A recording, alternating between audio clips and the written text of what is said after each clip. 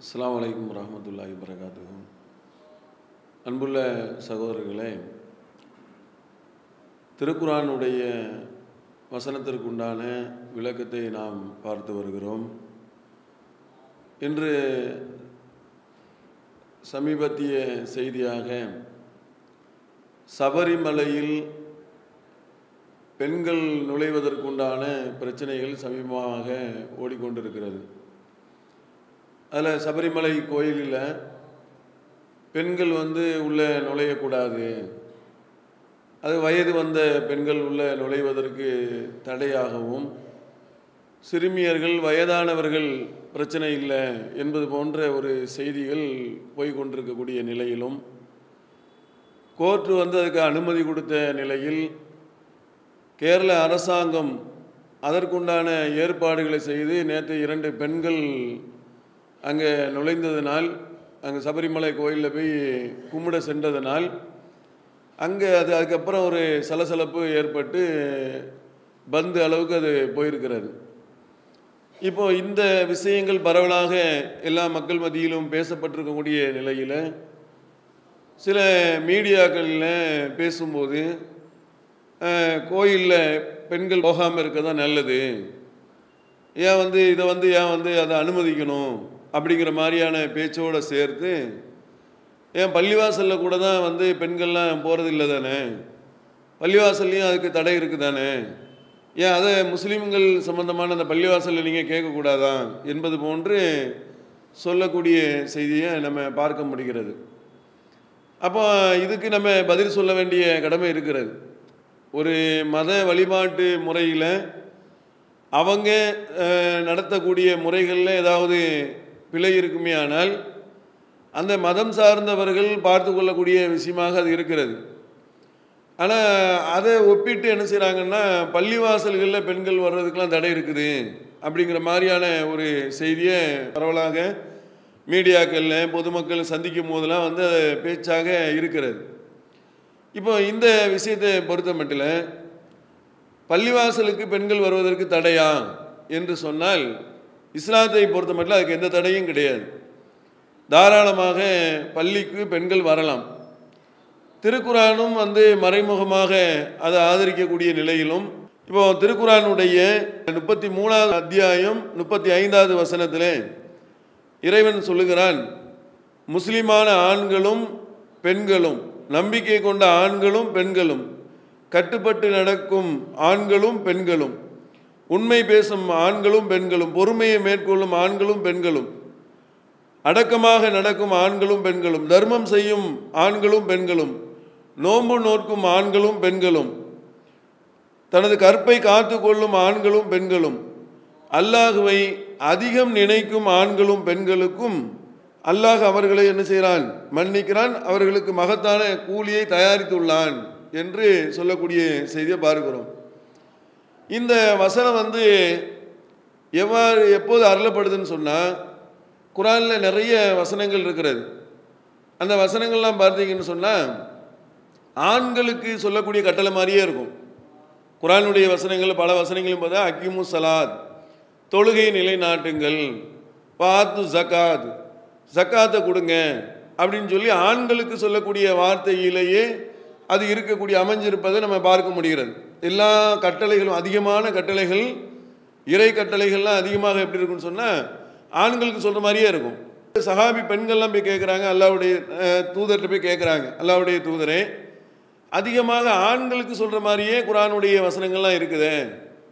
பெண்களுக்கு சொல்கிற மாதிரி இல்லையே அப்படின்னு சொல்லும்போது நபிகள் நாயகன் சொல்கிறாங்க அப்போ தான் அந்த குரானுடைய வசனம் இறங்கி ஆண்களுக்கு உள்ள அனைத்துமே பெண்களுக்கும் உண்டு.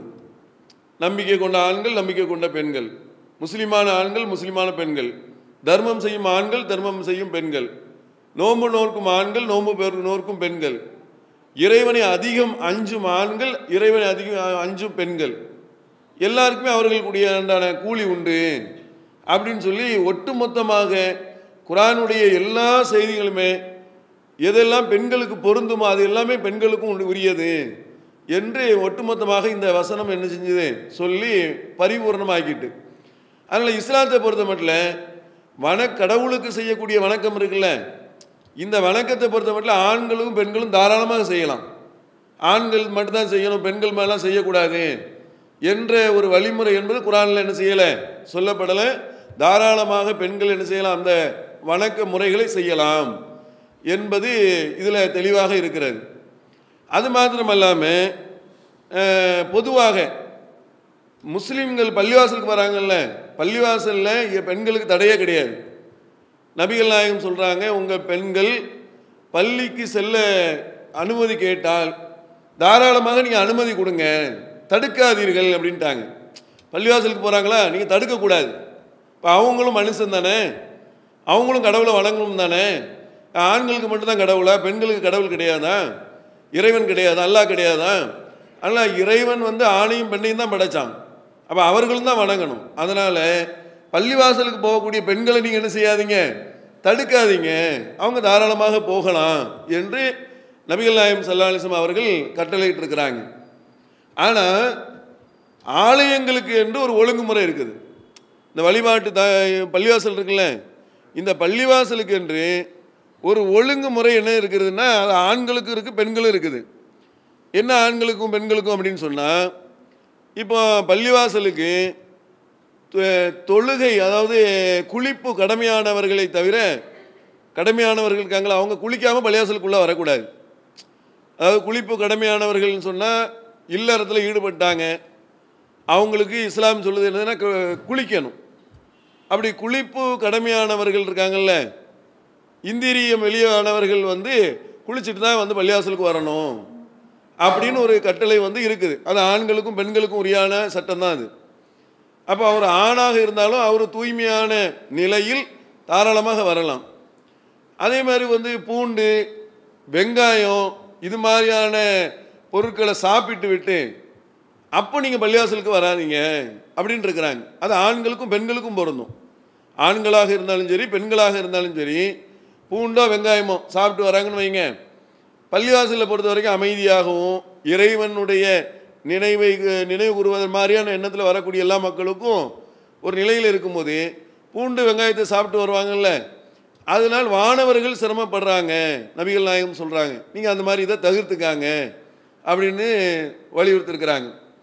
அதே மாதிரி பெண்களுக்கு பிரத்யேகமாக எல்லா நேரத்துலையும் பெண்கள் வரலாம் தாராளமாக வரலாம். சிறுமிகள் வரலாம் வயது வந்த பெண்கள் வரலாம் முதிய வயது பெண்கள் வரலாம் எந்த வயதை சார்ந்த பெண்களும் வரலாம் விதவை வரலாம் கல்யாணம் ஆனவங்க வரலாம் ஏழை வரலாம் பணக்காரர் வரலாம் எல்லா விதமான பெண்களும் பள்ளிவாசலுக்கு வரலாம்.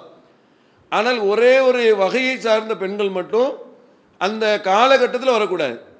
அது என்ன அப்படின்னு சொன்னால் மாதவிடாய் ஏற்பட்ட காலகட்டம் இருக்குல்ல அந்த மாதவிடாய் காலகட்டம்ங்கிறது ஒரு மூன்று நாட்கள் நான்கு நாட்கள் சில நாள் அஞ்சு நாட்கள் இது மாதிரியான காலகட்டத்தில் நீங்கள் பள்ளிக்கு வருவதை நீங்கள் என்ன செஞ்சுக்காங்க?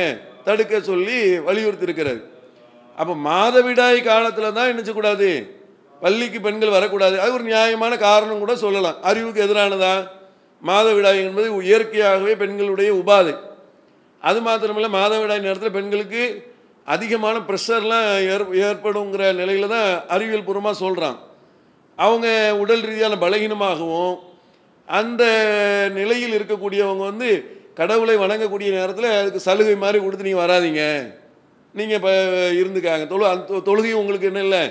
கடமை இல்லை என்ற ஒரு நிலையை கொடுத்து மற்றபடி தாராளமாக பள்ளிவாசலுக்கு வரலான்னு சொல்லி இஸ்லாம் சொல்கிறது அதனால் கோயிலுக்கு பெண்கள் போகாமல் இருக்கிறதுக்கு இப்போ பள்ளிவாசல் ஒரு ஆதாரமாக சொல்ல முடியாது.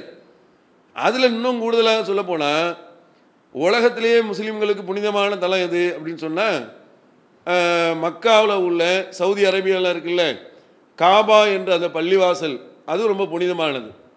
மஜிதுல் நபவின்னு சொல்லுவாங்க மதீனாவில் உள்ள ஒரு பள்ளிவாசல். மஜிதுல் அக்ஸா என்று சொல்லுவாங்க பாலஸ்தீனத்தில் உள்ள ஒரு பள்ளிவாசல். இந்த மூன்று பள்ளிவாசல் தான் உலகத்திலே புனிதம் என்று நாங்கள் க முஸ்லீம்கள் கருதுகிறாங்க அதில் வந்து மிஞ்ச காபாங்கிற பள்ளிவாசல் ரொம்ப புனிதமானது. ஹஜ்ஜு உம்ராவெலாம் பெரிய பெரிய வணக்கம்லாம் செலுத்துறதுக்கு போவாங்க. அந்த பள்ளிவாசல்லையே பெண்கள் தாராளமாக போகலாம். அவங்கள இன்றைக்கி நீங்கள் பார்க்கலாம். எல்லா பெ பெண்களும் என்ன செய்வாங்க? ஹஜ்ஜி உம்ரா இந்த நேரத்தில் முழுமையாக நின்று அவங்க நின்று அந்த பள்ளிவாசலில் போய் பக்கத்தில் நின்று தொழுவக்கூடிய நிலையும் அந்த பள்ளிவாசல்லையே ஒரு கல் வச்சுருப்பாங்க. அஸ்வத் கல்லுன்னு சொல்லி ஒரு கல் இருக்கும். அந்த கல்லையும் தொட்டு முத்தமிடுற அளவுக்கு அவங்க பள்ளிவாசலில் நெருங்கலாம். அவங்க பக்கத்தில் நின்று தொழுவலாங்கிற அளவுக்கு அவங்களுக்கு உரிமை இருக்கிறது. அப்போ அப்படிப்பட்ட நிலையில் முஸ்லீம்கள் வந்து பள்ளிவாசலுக்கு பெண்களை தடுக்கிறாங்கங்கிற அந்த வார்த்தை பொய்யானது. சில முதியவர்கள் எங்கள் அறியாதவர்கள் சில பேர் அந்த மாதிரி விவரம் தெரியாமல் சில பள்ளிவாசல்களை அந்த காலத்தில் அனுமதிக்கலை. ஆனால் இப்போ அப்படி இல்லை. அப்படி மாறிட்டாங்க. எல்லா பள்ளிவாசல்லையும் பெண்களுக்காக தனியாக ஒரு இடம் ஒதுக்கப்பட்டு அவங்க தாராளமாக தொழுவலாம். அதனால் பள்ளிக்கு வருவதற்கு பெண்களுக்கு எந்த தடையும் கிடையாது. அந்த உபாதை நேரத்தை தவிர அதனால் இதை சபரிமலையோடு நினச்ச முடியாது பொருத்த முடியாது. சபரிமலை விவகாரம் வந்து அது மதத்தை சார்ந்தது. அது மதத்துக்கும் அவங்களுக்கும் உள்ள விஷயம். அதை நம்ம பேச வேண்டிய அவசியம் கிடையாது. முஸ்லீம் பெண்கள் தாராளமாக பள்ளிவாசலுக்கு தொழுகலாம் என்பதுதான் இஸ்லாத்தினுடைய தீர்வாக இருக்கிறது என்பது இந்த செய்தியிலையும் பார்க்கலாம். நபிகள் நாயத்தினுடைய பொன்மொழியிலையும் என்ன செஞ்சுக்கிடலாம் நம்ம அதை பார்த்து கொள்ளலாம் என்ற ஒரு செய்தியை நம்ம இது ஒரு குரானுடைய வசனத்திற்குண்டான விளக்கமாக சொல்லிக் கொள்கிறோம். அஸ்லாம் வலைக்கும் அல்லாஹ்!